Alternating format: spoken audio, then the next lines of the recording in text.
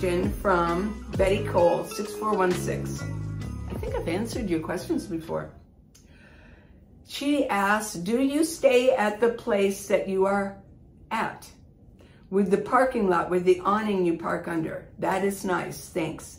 Well, I stay there during the day, but not at night. It's against, you know, no, you would be, you would get the knock um, if you stayed overnight at a park. Now, I know inside the park, uh, really deep inside the park, yeah. Um, I, I suspect that when I get there early, there's there's like a RV park there. And uh, the one that, that ran that generator, the you know, I showed you the other day, I think I think he's been staying there off and on all night long. It's against the rules. It's against the law. It's against the, the city code to stay inside the park. Yeah, all night. No, I have special place that I go to at night. It's in a neighborhood, and that's where I go.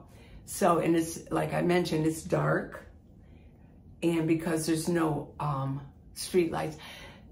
Tucson is not known for having a lot of street lights because it's more like considered like a dark city uh, where because of stargazing and things like that. So not a lot of, um, yeah, street lights. But of course on your main streets, of course you're going to have the lights. But so the answer is no. No, I don't stay at the park. Uh, um, in Reno, there was a park that I stayed in all the time. a lot of us did. We had a little community going on. It was like, but we were so clean. Um, and we, we like looked out for the park. And it was funny too, because I was kind of new that first year. I was kind of new in um, Reno. And I had met some friends at another park, at Rock Park. And then I decided to go to Idlewild Park. So if you know Reno, there you go. And I would be there. Well, I was still working at Amazon. So I would go on my days off, I would go to Idlewild Park. Well, uh, yeah, I met briefly, I met um, Red. I don't know if you remember him. Hey, Red. I don't know if you're still watching my videos, but miss you.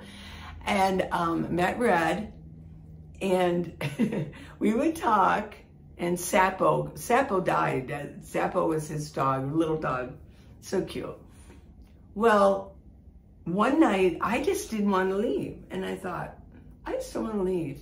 I'm tired of driving. I don't want to drive right now.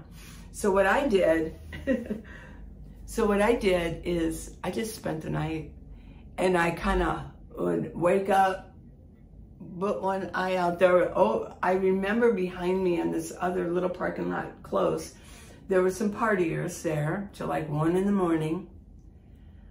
But I just went back to sleep and all of a sudden it was morning.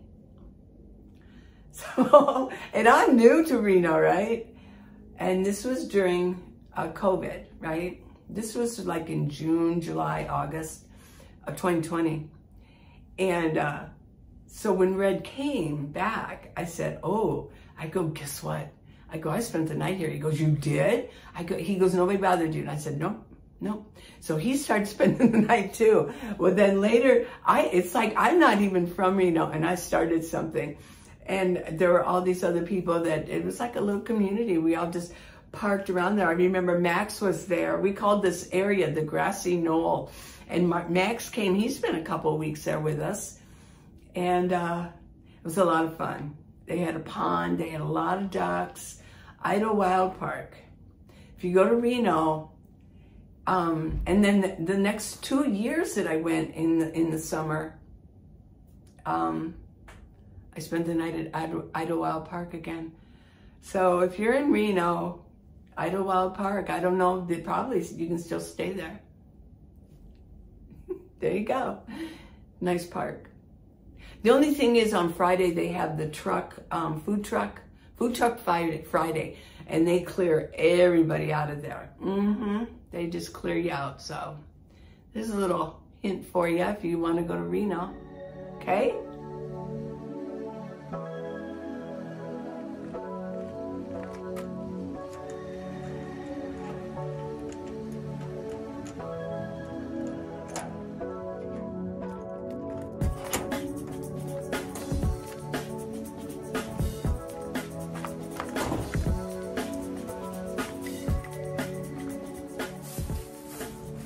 I'm going to organize up my storage unit, my little rental here, my 5 by 10 rental. I have some projects I want to get started with, and I want to use my table. And I figured this is the perfect place to do it. I mean, I can park my car. They know I'm here, and I've got my unit here, and I can kind of do, I could actually stay here for three, four hours if I wanted to. So, what I did was buy five more butane canisters. I found them at Walmart. They're behind locked uh, case. It's a clear case, and they've got them locked. They wouldn't even let me put them in my card. They took them up to the cashier and said, just ask for them when you go up. So I have five more. I've still got about five inside one of my bins here. But what I like to do is tape them up. I like to tape on the cap on it so that doesn't come off because if it gets released and put you know if the little lever gets pushed down butane goes into the air and that's just not good so i'm spending this time i want to get things organized up in my storage unit I cleaned out my drawers in my van for clothes. So I'm kind of organizing my clothes up. When I stayed at the hotel, I went through everything, refolded all my winter clothes, my hoodies, my jackets, my fleece outfits. And so I'm still in the process of putting things where they go. You know, it's sort of like what we learned in kindergarten categorization. What category does it go in? I think I got an A plus in kindergarten for that because I'm really good at it. So right now I'm just kind of cleaning things off. I, what I have been doing in the past is coming in and dropping things off and just sitting it on the table in my storage unit. So right now I'm just going to rework everything and get it cleaned up.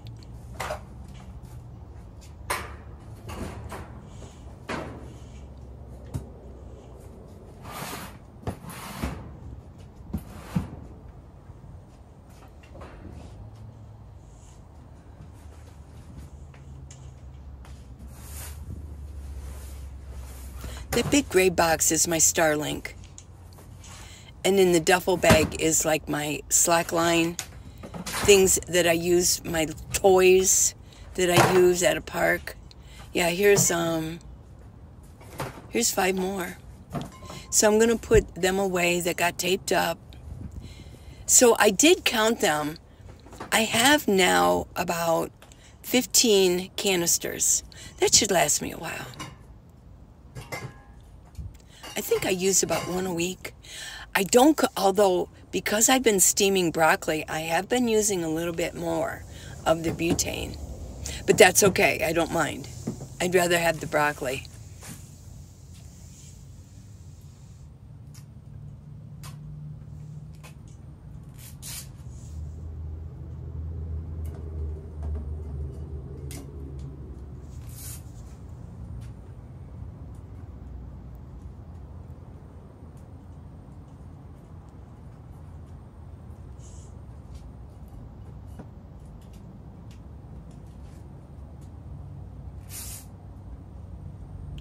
I really appreciate this table in here.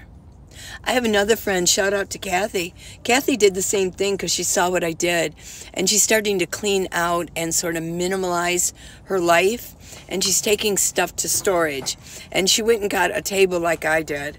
And it's inside her um, storage unit because I can put things underneath it and I can still do things on top. Now I do have a project coming up I can't wait to show you. I'm going to do new curtains inside my minivan. It's a long time coming. It's just little things just hanging around. Um, stuff that I took camping. I'm not sure if I want to keep those or not.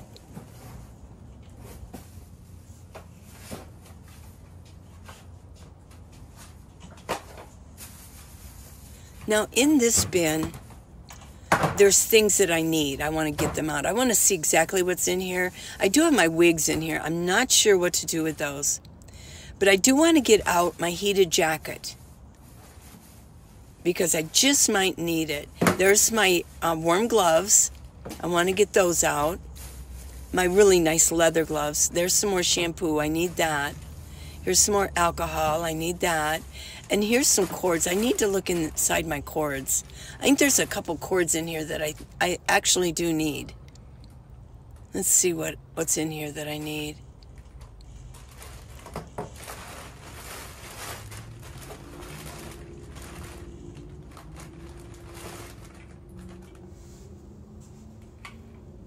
Most likely these are cords for my power stations. Just checking it out. See what I have. Yeah, I think I needed that. It's an extra USB cord.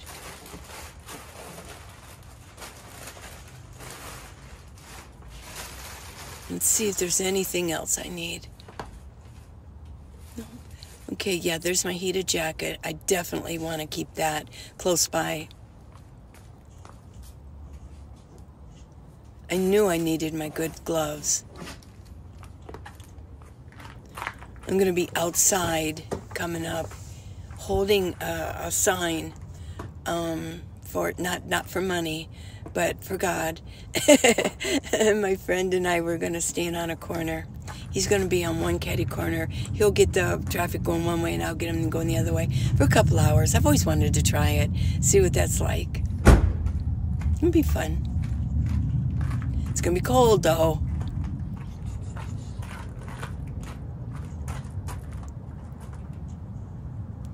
Yeah, these are my curtains here. I ordered them from Amazon. Okay, it's time to put things back. I really like this storage unit. $63 a month. Everything's expensive.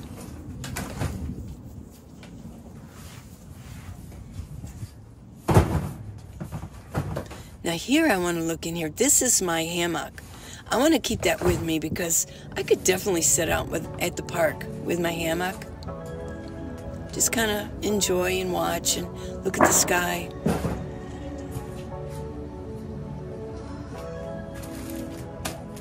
I'm gonna do um, new curtains. Blackout curtains, turk and purple. Come back in a couple days. I'll do them on this table. I'll cut them here. I'm not going to do it today. I don't want to rush through it and make a mistake.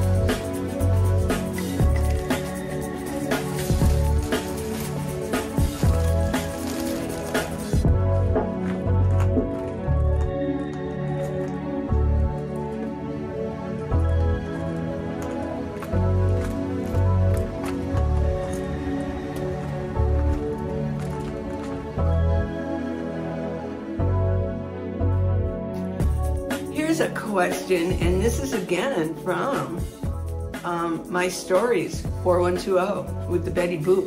Betty Boop. Okay, let me turn it this way. Oh, and not being able to stand inside vehicle.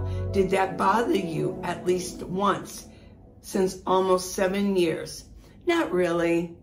Not really. I don't need to stand up if I, if I can I can get dressed because I'm only I'm five foot three and I can uh, sit there and get my pants up sort of, and then I lay back and I pull them up. so that's fine too, you know, that I can do that. And so standing up isn't a big a deal. What I can do is I can stand up like this. I can't stand up all the way because my head would hit it. But I could stand up a little bit and I could pull my pants up if I want to, or I can just stand up like this and walk like that. I mean, I can do that. That's no big deal. Um, so I can sort of stand up. I really don't see any reason to. If I could stand up all the time, I might never get out of my van. I might actually stay in there all the time. And I don't want to do that. When I need to stand up, I go into the gym and I work out or and then I get tired, I go into the, I go um, out of my van and go into a park and I walk there. But here's another one. She says, thanks for answering her question yesterday. Okay. um, she says, that was fun. I have another question leading from the last one. During hot months, or in my case, cold month, did you ever have friends or anyone ask you if you wanted to stay at their place just for two months or until the weather gets better? If yes, how do you feel about that? Here, some new homes have bathrooms built with each bedroom homes, and they're too big in my opinion. Okay. Um, I, not really. I mean, sometimes I do get comments from y'all out there that say, hey, if you ever need a place to stay, come. Yeah. Um, I did have one, um, Deb, um, in uh, Florida. Yeah. You wanted me to come to Florida and uh, you said I could have stayed there. Um, I like my van. It's my home. I like it, and I'm happy to be there. I don't need to be in another place. How do how? So that's really how I feel about it. No, I don't. Um, my, daughter's always trying to get me to. She, she goes, I got the back room, which is now her, you know, part office, and she goes, oh, you could sleep there and you can pull this thing out. Well, that doesn't look too comfortable. My bed is where I sleep. It is what I prefer. I, it's what my body knows. It's what I'm used to. So no, I don't want to sleep at my daughter's house. I don't. I just don't. And, um, no, I don't want to stay there. No, um, yeah, I just don't, I don't want to do that. I have my own system and I like it. And it's, you know, plus I don't want to um, burden, but that's the main reason is that I have a home and I like it. So there's your um, there's your answer on that one. Yeah, I'm happy where I'm at, and I don't. I mean, staying here in a hotel, I don't always sleep totally uh, perfect. I sleep perfect in my van, on top of my sleeping bag, with my blankets on top of me, my pillows placed where I know they are, that my knee can rest on them, that I can put my arm around one pillow with the pillows. I like my pillows. My body sleeps better when I know, when it's, when it knows what it's doing. There you go.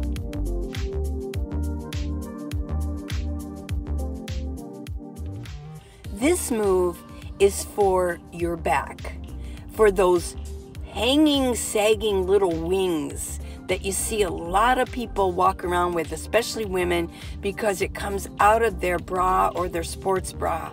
It's those hanging wings on the back. This is for that. I saw a trainer online say that you should do this every day. Now you're holding it and you're pulling it past your ears and you're pulling it like at eye level and you're pulling it past. This rope thing at the gym is perfect for that. But you could also have a rubber, one of those bands, and wrap it if you're boondocking, wrap it around a tree, a small tree, and pull it. Just get it at eye level and pull it. Pull it past your ears.